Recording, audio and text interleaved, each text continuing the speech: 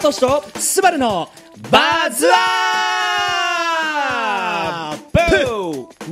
えよ、what's up, ladies and gentlemen? レインボータウン FM をお聞きの皆さん、こんばんは。レノチェルです。どうもファンファンサーズデーバズアップのお時間でございますよ。皆さんこんばんはスバチェルです。よーついにスバチェルって言った。もうどれくらい浸透してんの？逆に。レノチェルって。え、まあ、その、フォロワーさん、皆様に、んお、お伝えはできてるのかなと思うんです。ねえなんかちょっとやってよいつものチェルチェルビーン。はい。というわけでですねはいやっていきたいと。思います。流してよろしくお願いいたします。はい、毎毎週月曜日から金曜日の午後11時から30分レインボータウン FM にて俺これちゃんと言えたことが一回もない。いやちゃんとして。レインボータウン FM にて放送しております。ラジオ番組ファンファン木曜日を担当しますのは僕たちバズアップ。そうです。今宵もですね。そうです。今宵も木場のレインボータウン FM スタジオより生放送でお送りしております。よろしくお願いします。はい。イエイねえこのあのー、ねえ聞いてくださってますか皆さん？ね。聞いてますよ。これあのユーストリームでも配信映像しておりますけれども、はい。ね。あのー我々の美声とこの美顔をですね、え美顔。お届けしてまいりたいなというふうに思っておりますけども、今日あれですよ。何ですか？あの木曜日必ず雨降ってるんですけど。そうだ。今日今日あれこれやんだ？ギリギリだよね今日も。ギリギリ。本当さびっくりするんだけどさここ最近さ木曜日ずっと雨だよね。わざとだと思うよ。なんでなの？なんでですか？もうずっと雨ですよこれで今日もこの来る前ずっと降っててやんだやんだよかったよかったよかった。いっよかったぱいいるっつって。と思ったらまあ、まあもうもう違うよ。びしょびしょですよ外晴れ晴れてるとうん。人が来すぎてしまう。あそうかもしれない。そういうことだよ。だからちょっとちょうどいいのかなこのくらいがね。すいません調子に乗りました。ありがたい限りですよ、はい。今日も頑張っていきますんでね、お願いいよろたします。しくお願いしますね。はいさて、生放送でお送りしております、ファンファンサーズでバズアップでございますけれども、この番組では皆様からのお便りを募集しております。はい、宛先は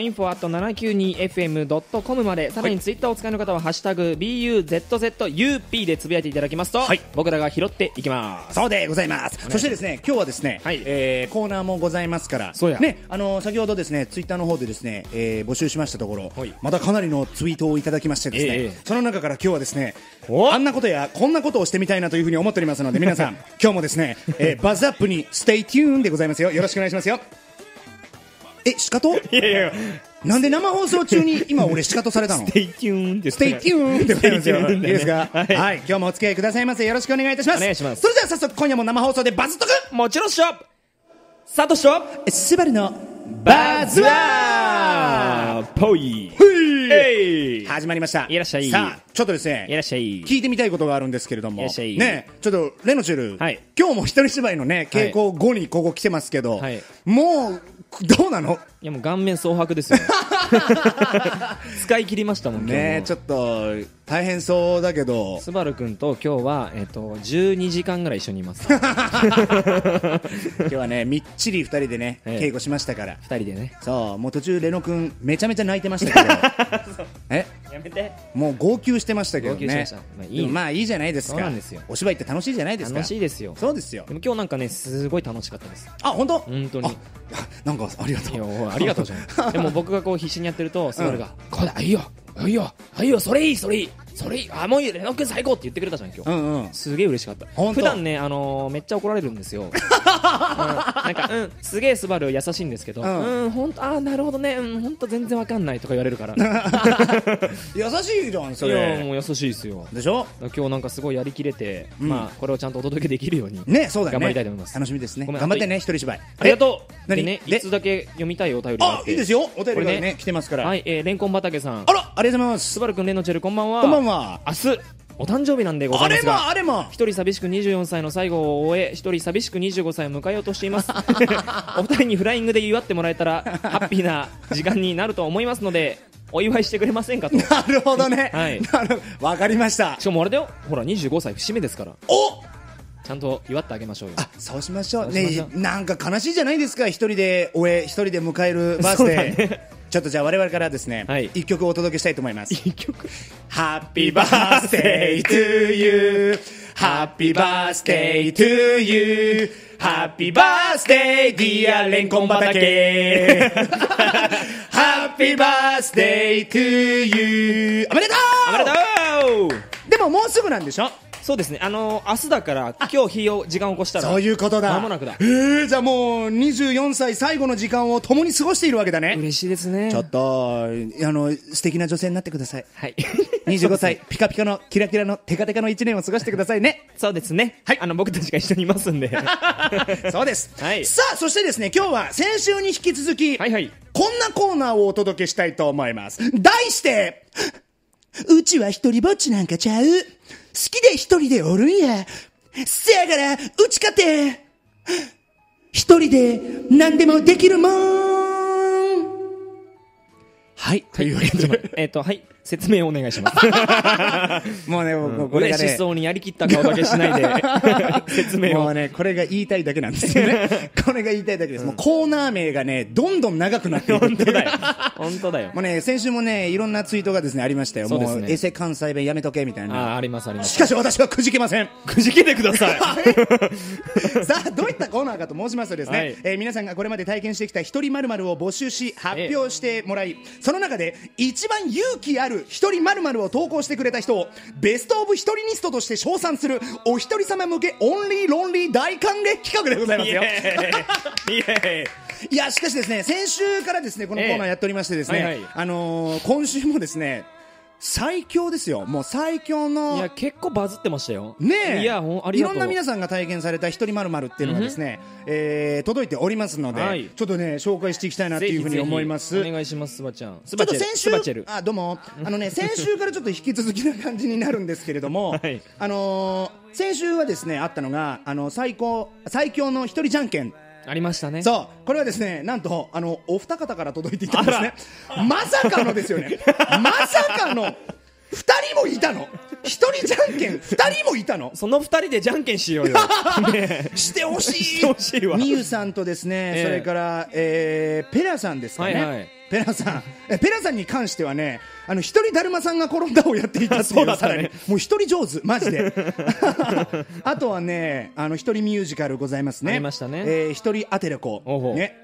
俺これね好きだよ。あのー長倉ラムネさんからいただきました。一人木村昴訪問。何なのそれ。もうね、嬉しいよね。いやいやいやいや。あのね去年の冬からスバルさんの出るイベントに毎月一人で参戦しておりますだって。あ素敵や 嬉しいですよ。あとはケイトさんからいただいたのは一人観覧車、これやばい。これすごいね。これやばくない？これどこの観覧車行ったんでしたっけ？これね30分以上も待ってお台場の大観覧車の透明のレアなやつを乗りましたああああああまた一人で透明なやつあれかあの日本一でっかかったやつ。買ったやつなそうのなんか大きいやつがまた新しくできたから。俺俺観覧車乗ったことないから分かんない。の乗れないんでしょ？そうなんだよ。そうなんだよね。あとはですねまだまだありますよ、はいはい。なんとですね、うん。えーどれだっけな？おい。ちょっと待ってね。ありそえっ、とちょっと待って。うでもねえーとめツイッターもいっぱいあったんだよね。そうあーあのこれこれ。えっとね、はい。あこれびっくりしたんだけどね。おそらく最強は一人結婚式だと思います何それどういうこと？どこかの漫画家さんがやってたらしいけどっていうね。あ本人ちゃうんかい。そう。キヨシングさんからいただいたんあですけど。キヨシングさんやってたらよかった。これキは。ヨシングさんが僕一人結婚式この間しましたよってんだったらいやもう優勝ですよ。速攻でだよねそうねこれまあちょっと人の話だっていうから、まあそうだな。ちょっとだただこれもうものすごいつわものだよね、あとは、うん。えー自宅で一人格芸。どういうことまあでもまああまあまあこれはねね。これはまあありそうですけどねペラさんあれじゃなかった。お鈴木翔平君。うん。最強の一人叙々苑。すげえ。かっこいいよね。すげえ。学生時代にお小遣いをもらってすぐに行きましただって。うわー全部なくなったんだろうね。いやでもあのお金の使い方がさかっこよくない？かっこいい。かっこいいよね。そういうのは素敵だと思う。いやこれもねただ学生時代にん。一人で叙々苑行くってこれなかなかのタフさだと思うよ。いや最近したよジョジョ園って、うん。こちとら。あ本当だよ。本当に。本当ですよ。あこれもかっこいいよ。えっ、ー、とねな中中西さん？ん？中西真奈さん8時間耐久一人カラオケ。おやるな。いや一人カラオケはまああるじゃん。あるじゃん。ただね8時間耐久。そしてね最後は声高らかに蛍の光。ちゃんと一人で始まって、ね一人で終わらして。ちゃんと帰る最後の一曲は蛍のいや超素敵。うん。あとねどうしても限定メニューが食べたくてミラコスタのラウンジで一人ディナー勇気ありすぎるすごいよね羽根さんからいただきました。カップルに囲まれた窓際の席に案内され、うん。さらには食事中に夜のショーをベストポジションで見れて、うん。無駄に雰囲気のある時間をたった一人で過ごしました。あそこだってカップルと家族で行くとこなんですよね。そうですよ。ミラコスタってだって宿泊施設ですからそ そうか。それだからあのまあひ一人で泊まるのもまあまあまあまあ,、まあまあまあ。なくはないかもしれないけど、まあそこであの一人でディナーを。いやー花屋もつわいねつわものだよ。かっこいいね、あとこなこれやばい。あのね一人ゲレンで。いやこれつわいよね。ちょっと待って。かっこよくない？ちょっと待って説明をして。初めて行ったゲレンデが一人でした、うん。朝4時に起きて、ん。自転車と電車と路線バスで行きました、うん。もちろんすべてレンタル。一日スクールに入ってレースしました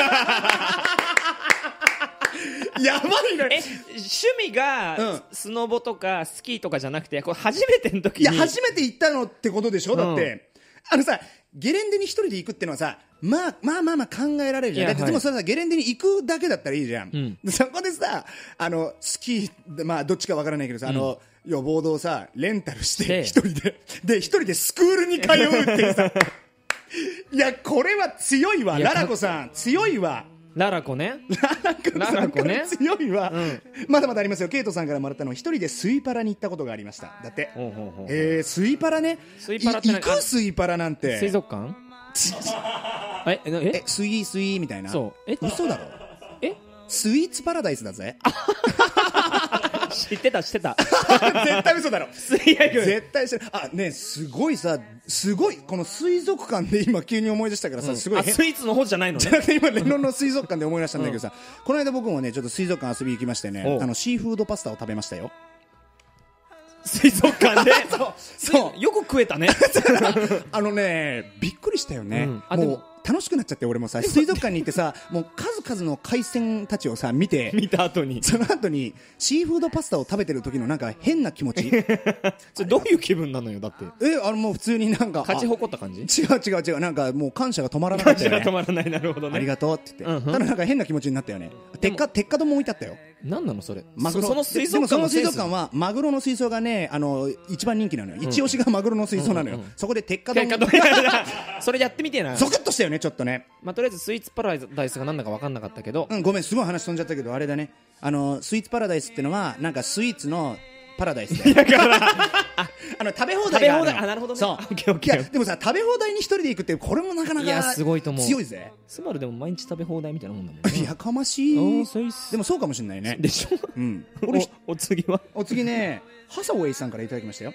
一人ウィーンミュージカル観光旅行。えあ感激旅行だって。えー。えウィーンまで行ったってこと？ウィーンにミュージカルの感激旅行に一人で行ったんだああいいじゃないですか。ああ素敵。おしゃれなやつ。そのためにドイツ語も勉強しましたが現地ではオーストリアの便利な挨拶グイスゴットやダンケシューンくらいでほぼ片言で英語で乗り切りました。だってえうんうんうんうんーわからないだろグイスゴットとダンケシューン全然わかんないわからなくていいすごいねでもウィンまでねこれ言ってるこれはなかなかなこの経験してますけどハサウェイさんもこれかっこいいですよかっこいいですねえララコさんもう一個来てますよ友達の話ですがああ友達かでもバレンタインデーの日に一人水族館に行ってました出た出た鉄火丼でかどうかどうか知らないけど鉄火丼ではないでもね、追伸ね、彼氏がいるのに、だって、お彼氏がいるのに一人でバレンタインデーの日に水族館行く。いや、これも強いですよ。まあでもこれがね、ララコさんの話だったらね、これまたね、かっこいちょっと。面白かったよね、うん学生時代に一人遊園地を2回体験しました、サナさん。これはすごいよね。一人遊園地、まあ僕は行くけど、いやいや行かないですよえ、行かないの？でディズニーランドじゃないよ嘘でしょ？あ、うんまあそうだそうだよね。そう遊園地か。遊園地だからそうだよね。そうだよ。花屋敷とかそういうことでしょ？ああ、なるほど。まあでも行けるかまあ、いけるけど、2回行ってんだよ。ハマってんじゃん。ね 完全にハマってんじゃん。ねすげえわ。ねちょっとまだ他にもありましたけど、まあこんな感じでございますよ。そうですねたくさん来てますけど、うんなんか、いや、すげえなんかね、一人映画とかうんうん、一、人、えー何があったかな、一人ラーメンとか、なんかね、そういうのはね、結構あったんですよ。一人ジョナサンとかあったねあ、あったね。僕も先日先日だって 先日。一人ジョナサンはありましたけど、うんジョナサンに10時間以上一人でいたのは初めてでしたもうパフェ何個いけんだよ。本当だよ すごいね。すいません本当に。さあ、というわけでですね、ええ。この中からこ、の中から。えーベスト一人ニストをですねちょっと決めたいなというふうに思うんですけれどもなんかあります？レノちゃんはちょっと気になったのは？ありますね。ありますか？ありますね。ちょっとちなみに何が気になりました？僕はうん。観覧車。あ一人。あうん。なんかあのーすげえなっていうかうん。ちょっといい時間になりそうじゃない？一人で30あまあね。分ぐらいこううんうん。行って帰ってくるっていうのはなんかやってみたいなっていう。あなるほど、ね。ってみたいか。やってみたいのがあるちょっと。でもね今回のこのコーナーのね醍醐味といたしましてはですね、お前マジかみたいな。あそうかそうか。そうか そうかそうか。あそうか。そう。うわそれ一人でやったか。みたいないや強いわもう最強だわ。うん。っていうのうん。をもう僕たちが褒めたたえ称賛するコーナーでございますから。そうですよ。ちょっとね僕ね決めました。あら。いいよ。えいいの？いいよ。俺が俺が発表していいの？いいよ。マジで？いいよ。分かったそれではですね えいいの？本当？いいよ。もう俺決めてる一個。た多分合致してるところはあると思う。あマジで、うん。あよし分かった、はい。それではですね栄えあるベスト一人ニストを発表したいと思います。発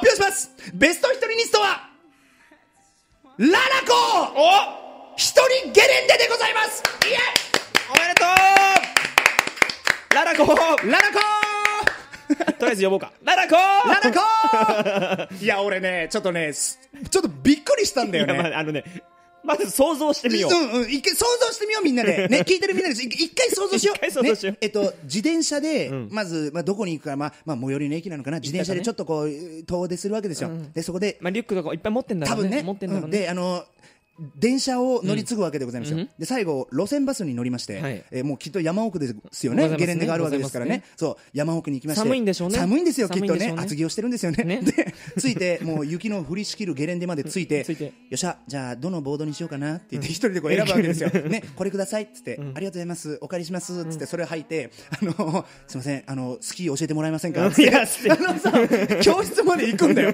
それでもうリフトも一人で乗るのかな？いや乗るだろうね。上から下まで一人で降りてくるのかな、うん。ね。一人で帰るんだぜ。いや 笑ったらいけないかもしれない。ちょっとこれはもう賞賛に値するいよやすごいと思う。これはね僕らちょっとね感動したんですよ。あのね一人旅行ともまた違うんですよ、うん。ゲレンデだっあのてね強いのいっぱいあったんだけどね、うん。あの一人じゃんけんペラさんが送ってくれたのは右手が最強でしたって超笑ったんだけど まあでしょうねみたいなね。いやいや面白いのいっぱいあったんであとはねちょっとごめんなさい。ちょっと電波に乗せられないレベルのやつもありました。ありましたね。ねちょっと。ありまありました。一通二通ありましたね。ありましたよ、うん。でも読めないやつあがの僕らは、えー、とお気に入りしましたので。そうそうそう多分本人は分かってるとうん、思います、お気に入りはしましたけどね、ちょっとそれごめんなさい。ちょっとテレビで言えないし、まあ、それ言っちゃうとちょっとその人があこの人みたいになっちゃうと あれだからっていうのもあってちょっとですねあの今回はね 自粛させていただきますただあの僕らの中では MVP ちょっと上げてもいいかなみたいな感じのところあったけど、でも今回は審査員特別賞はあげてあげてそういうことです、ね、あげてます。そうですはい。ただ企画的には。そうなんです。今回は、えー、ララコさんがベストオブ一人ニストということに輝きました。おめでとうございます。おめでとうございます。さあですねこれでですねあはい。のーまあ一人上手ということでございますからね、ええ。ちょっと我々の方からですねちょっと番組の方からですね、はい。僕らの、えーサイン入り UNO をプレゼントしたいと思います。UNO をプレゼントします。ちょっと待って。うのあげんの？UNO あげます。うのってあのみんなでやるやつだよね。そうだよ、うん最低二人でやるやつだよ、うん。をプレゼントしますので。トランプじゃなくて、うん。あえてうの。な UNO ですよ。うん。どうすんの？あのちょっとララコさんあの一人 UNO ちょっと挑戦してみてくいやださい。いやいや違う誰かと友達とやってくあださい。ね。そういうことね。あの、あの、友達いっぱい集めて、ちょっと、うのパーティーするか。あ、でもちょっと聞きたいな、後日、ななんかあの、一人うの、楽しかったいやです。待って、まあまあどうやってやったかちょっと教えてほしいなそれ。うのパ うのうのうのパしました一人で。いや、ちょっとかっこいいわ。いやぜひはい。ですから、あの、おめでとうございます。おめでとうございますということでですね、このあのベストオブ一人ニストを決めるですね、一人で何でもできるもんのコーナーは今週にて終了でございます。はい来週はですね、どういったコーナーをやるかというのはですね、ええーこれから考えます。そうです。決めてません 決めてませんので、皆さんですね、また来週、あの、どんなコーナーがあるか楽しみにしていただけたら嬉しいなというふうに思います。お願いいたしますはい。ということで、はいはい。たくさんのお便りありがとうございました。ありがとうはいございました、それでは、ちょっと、それではですね、えーここで一曲聴いていただきましょう、はい。本日ご紹介するのはこの曲。はい。お送りいたしましたのはケツメイシで「みそじボンバイエ」でございました。ボンバイエえー今日は木村君の選曲でございました。そうなんです。なぜこの曲でしたですか？ねなんでだよ。なんで片言になった急に。もう、味噌汁ボンバイエね、僕もケツメイシ、も、もちょもちょもちょもちょもちょだって。いやいややり直そう。もともと月面師大好きだったってのもあるんですけどその中でもねこの「みそじボンバイエ」って曲はね大変好きでございまして、うん。まあ、このノリもそうですけれども、うん。あの言ってる内容がねめちゃめちゃかっこいいんですよ、この男の人はねみんな多分めちゃめちゃ共感すると思う、うんうんうん。まあ、まだみそじになってないからまだ全てに共感できていない節もあるかもしれないけどでも、こんなみそじになりてえなみたいな感じがね、めちゃめちゃ詰まってるんですよ、そして僕からはその現在みそじど真ん中のレノ君へのちょっと応援ソングとして今日はね流しましたよ。今週末はですね一人芝居もですね控えておりますしレノ君本当に今カツカツなんですよ。気づいちゃった今。何？泣きそうになった。分かった瞬間に今泣きそうみそじになった。のレノ君にボンバイエっていうことでちょっと頑張ってもらえたらな。涙混じりの雨が降ってもみそじ街道止まらずに行こうっていうねことを歌ってるんですよ喋れなくなっちゃうねこれちょっと。う今日ずっと泣いてんな。やめろ。でもねちょっとそんな応援ソングでございます。で聞いてるねあのみそじの皆様にもですね、えーこれからが毎日楽しい日々になりますようにというですねちょっとボンバイエバイブスをですねちょっと込めまして皆さんに聞いてもらえたらななんていうふうに思っておりますのでありがとうございます。はい、ちょっと気になった方はですね、えー、ケツメイシの、えー、ケツノポリス4に入ってる曲でございますからよかったら聞いてください。ありがとう。イエーイ。えいはい。ありがとうございました。ははははおっといけねえ。もうエンディングの時間が来ちゃったぜ。あ ごめん言いたかった。俺もなんか言いたかった。今日はですねちょっとなんか早い気がします。なんかね毎回ねあのツイッターにねあの番組が終わった後にね感想を書いてくださる方々がいらしてそうでね,、でお便りもたくさんいただいてるんですけどもそ,、ね。の中にもねよく皆さんが書いてくださってるのがもう秒で過ぎてったと、うん。30分短いよーなんてことを言ってくださる、もう何よりの励みですよ本当に。ねなんか最後まで聞いてくださる皆さんがいるのもすごく嬉しいですし、うん。その中で早いなーなんていう風にですね言ってもらえるっていうのはね僕らもすごく嬉しいのでありがとう。これからも頑張っていってですね皆さんに楽しい番組をお届けできるように頑張りますので、はい。ね。ちょっと俺今感傷に浸ってる。まだ浸ってる。あらそう。そう天音さんからうん。お便りいただいて、あなんでしょレノさん一人芝居フェス、レノフェス、うん。いよいよ迫ってきましたね、はいはい。頑張ってください超超超期待してますって言うとプレッシャーかな。もちろん見に行けますよ。うおお嬉しい。嬉しい。天音さんからいただいたおはい。便りです。か、ありがとうございます。こういうのたくさんいただいててうん。すごい本当に頑張らなきゃなとうん。思っておりますなんか。じゃあちょっとその一人芝居の告知をよかったらぜひ。はい、えー、僕レノサトシがお届けするする、うん。レノフェス。はい。本番も本番まであと3日でございます。うおー。まもなく、えー、7月24日、はいはい。25日、うん。空箱という劇場ではいはい。やります、はい。えーワンドリンク、うん。ワンお菓子付きでございます。おお素敵ね。こちらもねすごくいいものをプレゼントしております、ん。そしてあの木村君がうん。初めて僕のためにうん。本を書いてくれて、はい。それを表現できることもすごく幸せですし。光栄です。いや今日もマジやりながらずっと涙目でやってまして。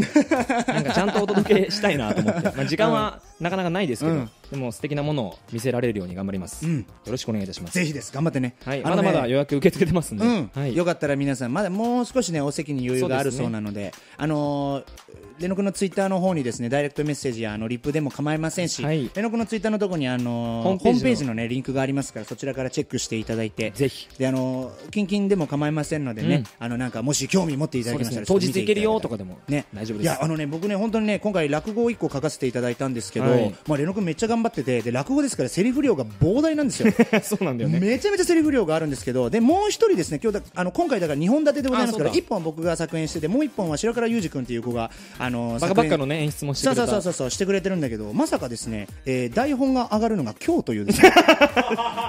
なんとえっとさっき見ました。そうあの一本はもう稽古もだいぶ進んでもうほぼ投資稽古もできてて、ねええ。完成に近づいてるんですけどもう1本がなんと今日台本が上がってですね そちらもですねなんと、えー10ページほどあのセリフ量がね半端じゃなかったんだよね。本当だよ。でなんだったら途中でちょっといろんなパフォーマンスも混ぜ込んでてそうなんですよ。でしかも7役あったじゃんあれ。あったあった。どうすんのっていう。いやでもこのプレッシャーにですね今日ものすごいこのもう押しつぶされそされそうだったレノ君がですねなんとか頑張ってますので。皆さんぜひ見に来てください。必死のみそじをぜひ見に来てください。お願いいたします。はいそしてですね、えーレノ君と番組からのお知らせでございます。はい、えー毎週月曜日から金曜日夜11時から30分間放送しておりますラジオ番組ファンファンはい。えー他の曜日の担当の皆さんが番組収録をしているというエドプレスジャパンのお知らせです、はいこちらは羽田から世界へ日本の魅力を伝えるインターネット放送局でございますが、えー実はそちらでも僕は番組に参加させていただいております、はい。えー詳しくはエドプレスジャパンで検索してみてください。よろしくお願いいたします。そしてですね、えー他の曜日のファンファンもですねファンファンですね。よかったらぜひ聞いていただけましたら大変幸いでございます。よろしくお願い。します、お願いいたします、はい、そして、えーこの番組では皆様からのお便りを募集しております。はい。宛先は info at 792fm.com でございます。はい。Info at 792fm.com でございます。かっこいい。は番組の感想や質問、リクエストや愛のこもったラブレターでも何でも構いませんので、よかったらですね、えーお便りぜひください。苦情でもね苦情でも構いませんよ。あの、ですからね、よかったら皆さんなんかこうご相談でも何でも構いません。あと今日みたいにね、誕生日の時とかあお祝いいいできるタイミングもあるかもしれませんお祝いさせていただきますから、は、はいいよかったらぜひお便りください。あとプレゼントもお送りしますんであそうでございますよ。ララコさんおめでとうございました。改めて。はいそして、レノ君はですね、もう来週のこの時間にはさ、もう一人芝居終わってるわけですから、ふぬけてると思う ね、あの、今日から、あの、膨大なセリフ量をぶち込まなきゃいけないない3日間が 続きますが。寝れねえ。頑張ってね。ありがとう、はい、どうぞよろしくお願いします、はい、それでは皆様来週のこの時間にまたお会いいたしましょう。お届けはレノサトシと。木村昴でございました。バイバーイ。またね。ヤッホー。